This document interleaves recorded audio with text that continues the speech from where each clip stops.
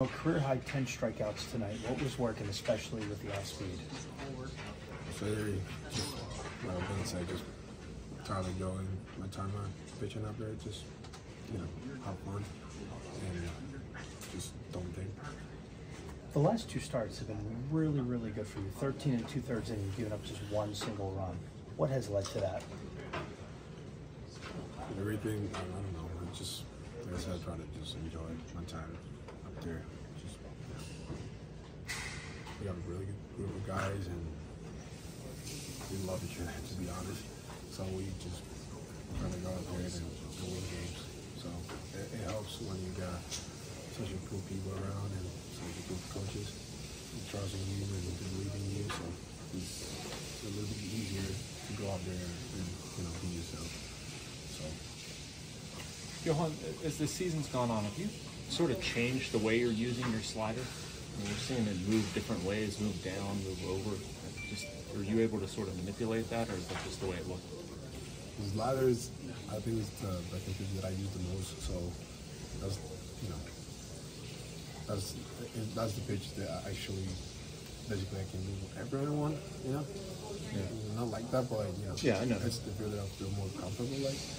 So you know, the days that I feel the, you know the best, so I can I don't know make it move a little bit different. Yeah. I think last year you were moving your or using your curveball about 10% of the time. Through three starts this season, you've been using it about 30% of the time. Just what's kind of led to the increase in the curveball usage? In the minor leagues, uh, the curveball has always been like secondary base pitch. But when I was, I think like double A, I figured out a, a better slider. So slider became my best pitch.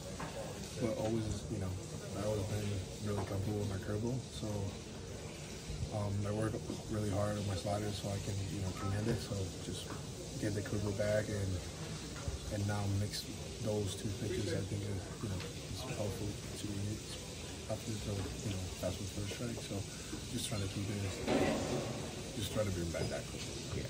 Do you think you have a better feel of the curveball this season compared to last season, or is it kind of the same? Um, I mean, last year, uh, just because I was in the bullpen for like two months with St. Louis, I was more like fastball slider. As soon as I came here, and you know, I built, I was building up and in Indy. I just try to get the curveball back, just because I, the minor leagues, even like in the big leagues, I was been using the curveball. So, just right now, it's, it feels really good. So, you know, just trying to keep it in. Johan, this kind of builds off of that, but that fourth inning, whenever you got runners on the corners and you throw nothing but breaking stuff there, like how rewarding is it that you could just go to that and get hitters out of big spots like that? I just, you know, just try to confidence. I have a lot of confidence on my pitches. Um, I also have a lot of confidence on my secondary pitch. I would say slider curveball. So just, you know, don't try to do too much. Don't try to like be a perfect, be perfect out there. So thankfully, um, you know, execute good pitches and and we get out of that inning. But just just try to enjoy my time and have fun. Just try to not think about results or anything. I think that's been huge for me. During